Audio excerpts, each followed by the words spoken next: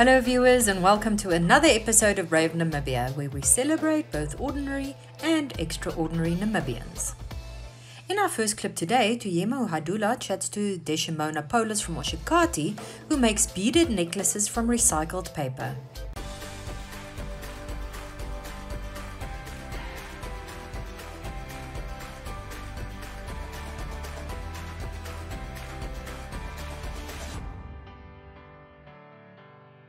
My name is Ndeshimonanda Pandula Paulus. Uh, I am doing paper recycling uh, a necklace. Uh, as usually in Oshivambo, when we're wearing Oshivambo traditional, we have to wear onyoka. This kind of onyoka, and I made it in papers. These papers, they are already used, as you can see it here they are already used. They are recyclings. Mm. Not only for Oshivambo traditional, we also doing for African dress. As you see this one, they are made of uh, recycling for a pamp from pamphlet for metro. I use it when it's the they are advertising they are special. After the special is done, are going to other shops, then I collect the, the leftover specials, papers, so I can make them the jewelry, the nice one. As you can see on mine, this one I made it also with the paper, and you cannot believe it.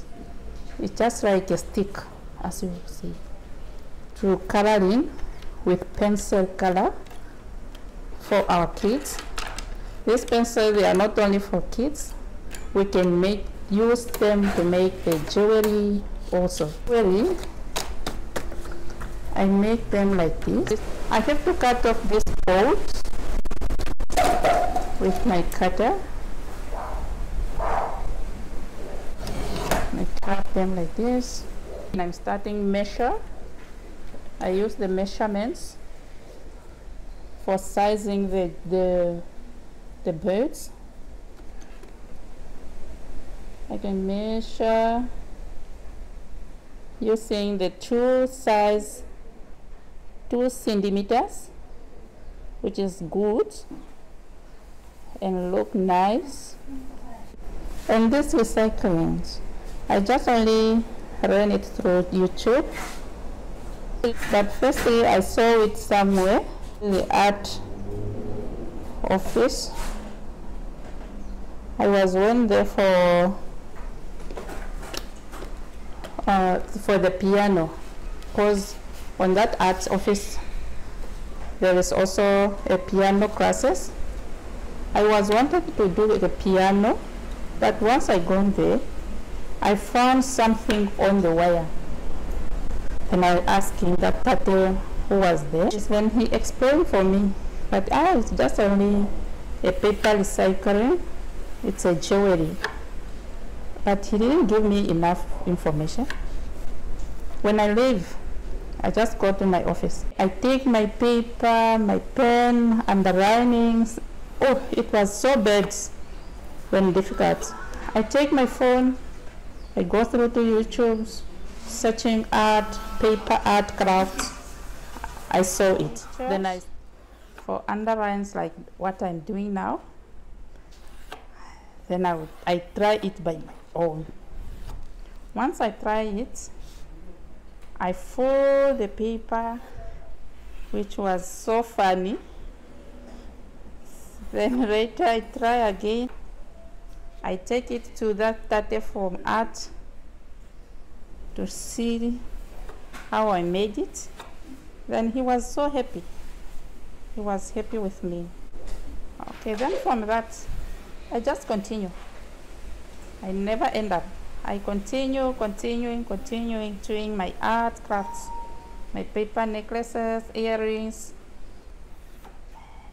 and many. I have trained some youth also, and now they are doing their own business. And some they want to come again to stay, to work with. I trained also some women from the region and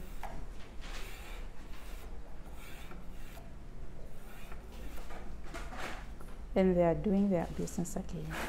And there are also some projects, community projects who wants me to go to train them again uh, by next week at the Onelawo, there nearby Ondangwa and Oshakati, between there. They asked me to go there to give them the trains. So far, I have been trained more than 20 years. Both of them, they are doing their own business.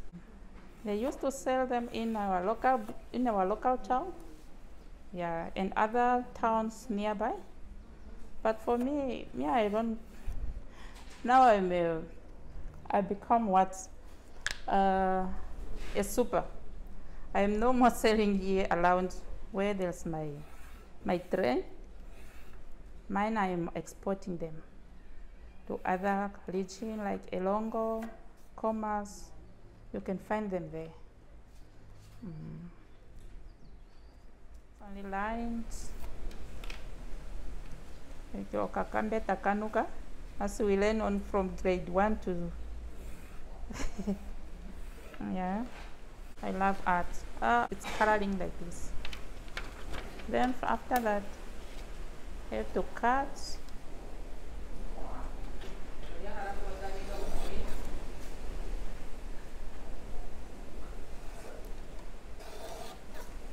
Cut. But from the first time I was just only use the scissor. Because mm, I'm doing also a printing shop. I was already having this cutter. Then I realizing that why should I cannot only use the cutter. Then the cutter is doing the best than a scissor. Then after after I cut, I have to take my piece of paper Then I fold it. I just only use the figure, my normal figure. I fold it, fold, fold, fold. And that one is a small, because I just only use a single paper. And use it, use the double paper to make them bigger. So good, good, good then it's a bit again.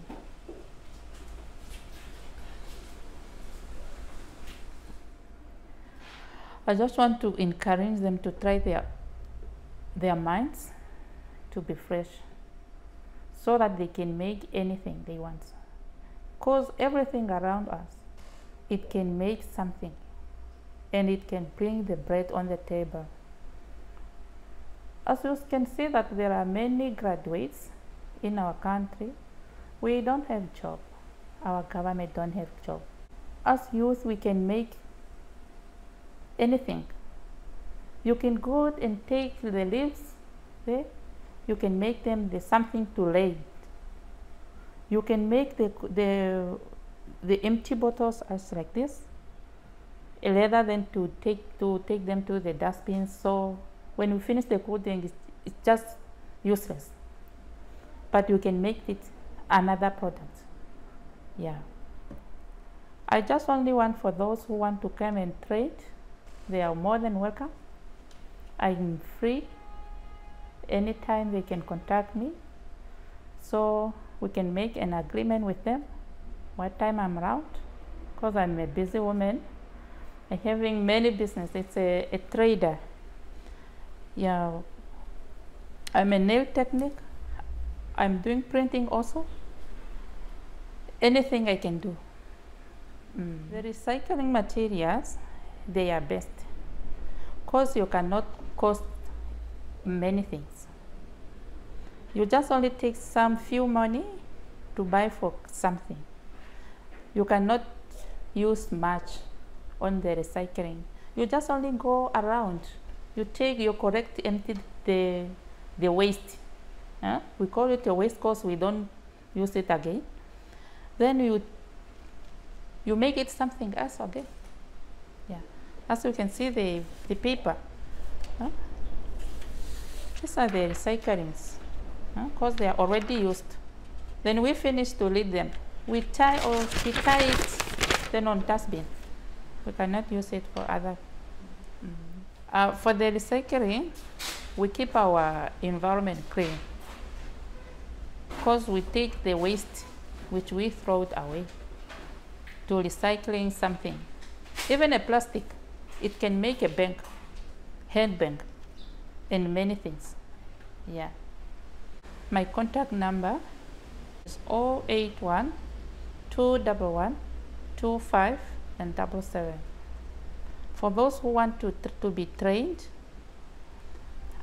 I can you can contact me. I will be free to assist. Mm, and I, I can make it by free of charge. I cannot cost anything. Take a load off and tune into another episode of Brave Namibia as we take a look at both ordinary and extraordinary Namibians. Brave Namibia is broadcasted on NTV Saturdays at 6:30 p.m. and oneup2.com, as well as broadcasted on the following Facebook platforms on Wednesday at 5:30 p.m. Republikein, Allgemeine Zeitung, Namibian Sun, and all Namibia Media Holdings pages. For more information, contact the Brave team at brave at synergy.com.na. Brave Namibia for the ordinary and extraordinary Namibians.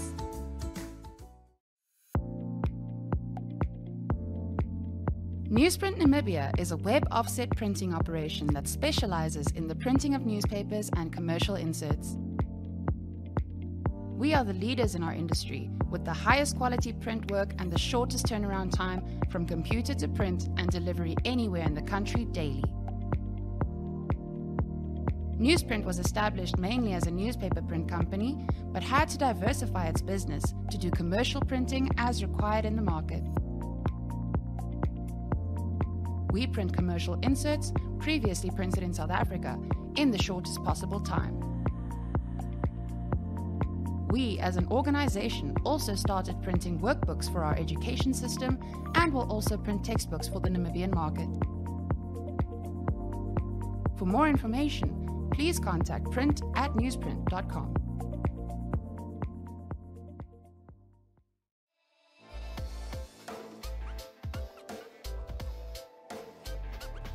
Next, we're in Windhoek, where Tanya Bowser catches up with double amputee Miki Jovanovic, who lets nothing stand in her way.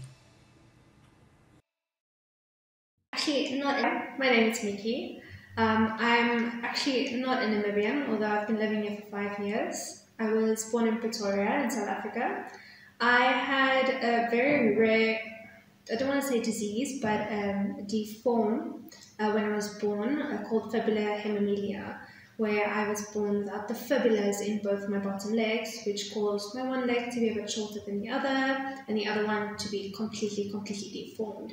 Um, my mother had to make the tough decision either I would be in a wheelchair for the rest of my life or my legs were amputated. So they decided at the age of one that my legs were going to be amputated. Um, and then I got my first pair of prosthetics when I was three. So I've been going to the same doctor for the past 22 years in Nelspruit in Mpumalanga in South Africa. Um, he's literally known me my whole life, so having prosthetic legs is nothing unfamiliar to me. Um, it's all I know. So um, I had to, well, my mom had to raise me to be very strong because when you're small, the other kids don't really know, you know, what's going on, why you're walking funny, why you can't do this or do that. Um, so I had to be really confident. I had to learn to be confident from a young age. Otherwise, I don't know, children tease, but they don't, like, as I grew up, I realized I don't mean it in a bad way. They're just curious, and a lot of parents don't um, they don't give information about people like me. They don't teach them about people like me. They just don't look, don't look at them, and then they just tend to like not look at them, um, and that's when they start teasing because they don't know anything. So. Uh, primary school was a bit of a hassle for me, especially with the children teasing. Uh, but as soon as I got to high school, everything changed. People were accepting, people were friendly about it, and that's when I started being more confident, wearing shorts, wearing short dresses. Um, so high school really changed for me. I know a lot of people don't have good high school experiences, but I definitely did. Um, and you know, I've got a really good sense of humor, so sometimes I tend to make bad jokes about disabilities, but people find them funny. Um, because if you feel comfortable, then the other people feel comfortable around you. That's usually how it works. Um, I wasn't interested in sport in a young age at all. There weren't a lot of role models for me because the one that I had ended up in jail, meaning Oscar Pistorius, because he was born exactly the same way as me. But as I got a bit older um, and started using social media more, I realized that there were a lot of amputees and people with disabilities that are doing this and doing that and taking part in the Paralympics and this and that. So everything you can imagine they can do. And that really opened my eyes because it's not something that I uh, was exposed to as a young age. I just thought it was like me and a few older gentlemen that I met that had prosthetics. So it was really an eye opener for me to see all these things on social media and then I got the opportunity to move to Namibia when I was 20 to come study here. So I finished my honours degree in tourism and hospitality and events management. And while I was doing that, I um, have been working for the same family for five years now as a full time au pair, looking after three little girls every day. They feel like my own kids by now. Um, so I've been here for five years, and now the last year I'm just studying a certificate in business administration, um, and then at the end of the year I'm moving back to Pretoria, South Africa, um, to start. And how did how did you get into pair? Uh, it's a funny story. So I didn't realize that I'd be looking after kids like ever in my life. It wasn't even a thought in my mind.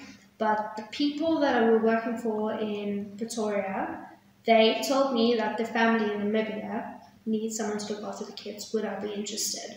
And I just said yes. Like I didn't even think about it. I just said yes. And then it's a tough full time job, but it works out because with the salary that I get, I can pay for my studies myself. Um, you know, it's difficult. Some parents can't afford it, including mine. So it's it's nice to feel that I can support myself and pay for my studies by myself. So do I go to evening classes because I'm a part-time student, so I work full day, and then from half past five till half past nine, I'm at class.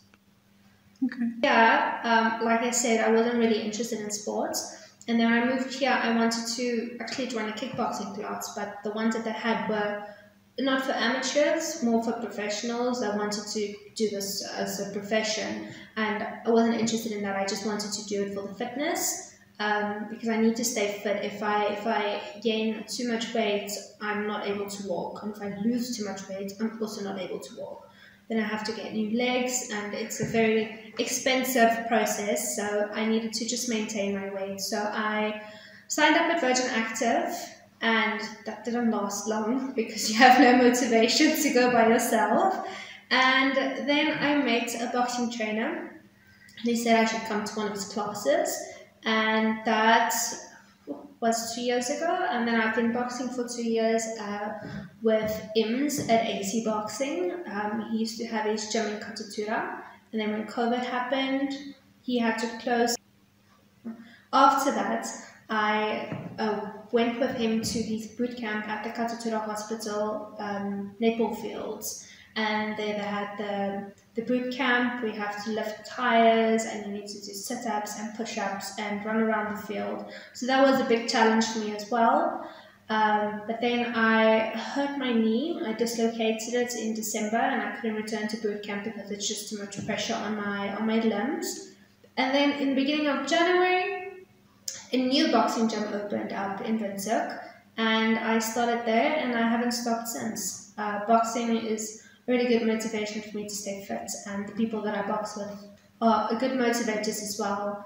And in between that, um, I do rock climbing as well at Maerua Mall, um, which is also a challenge for me because my feet can't bend as well as normal feet. So it's always a, a, it's always an accomplishment if I get to the top. Sometimes I don't, sometimes I do, but I have to try and try about four or five times because my arms just get extremely tired. But if I do make it up, it's it's definitely an accomplishment.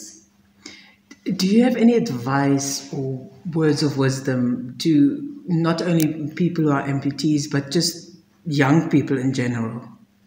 Definitely. Um, the word confidence can mean so much in your life. If, if you're confident, other people will start being no, not normal, but will start being confident around you as well.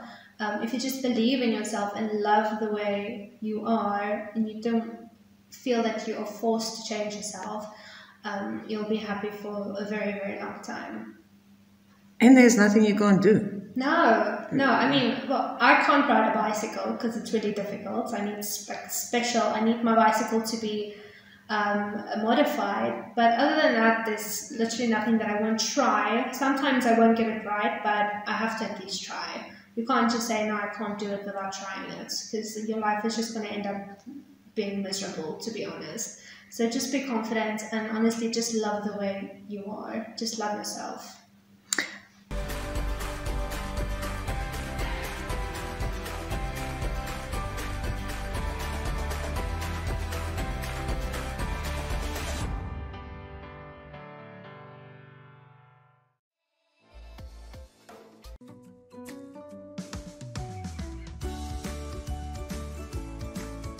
Take a load off and tune into another episode of Brave Namibia, when we take a look at both ordinary and extraordinary Namibians sharing their stories. Brave Namibia is broadcasted on NTV Saturdays at 6:30 p.m. and oneup2.com and broadcasted on the following Facebook platforms on Wednesday at 5:30 p.m. Republikein Allgemeine Zeitung, Namibian Sun, and all Namibia Media Holdings pages. For more information, contact the Brave team at brave at synergy.com.na. Brave Namibia for the ordinary and extraordinary Namibians.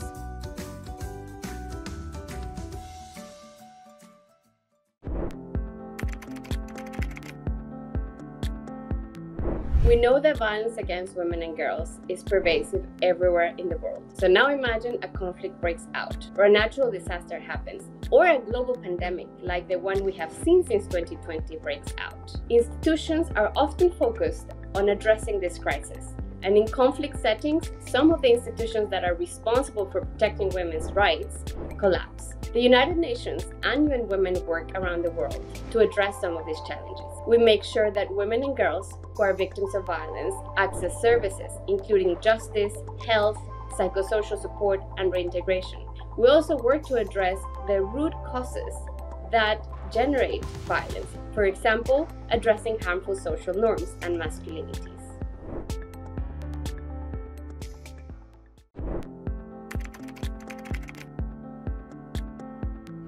We can prevent violence against women before it happens. It means tackling the root causes of violence, working with men and boys to end power over women, which is often normalized and justified. Transforming these root causes and preventing violence needs political commitment and leadership, laws and policies that promote gender equality, investments in women's organizations, and resources for prevention work. But prevention also starts with you. You can start by educating yourself. Speak out when you get a chance, advocate for survivors' rights, and always listen to survivors. Preventing violence against women and girls before it actually happens is the most effective way of ending it. So let's start now.